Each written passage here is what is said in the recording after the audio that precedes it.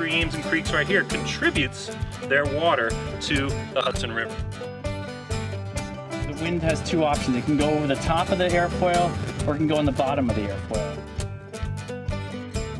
There are many things that I'm yet to see.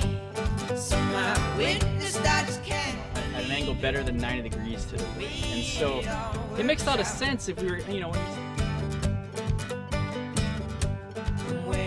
sometimes doesn't go to plan. You're thrown right across and you get stuck in the sand.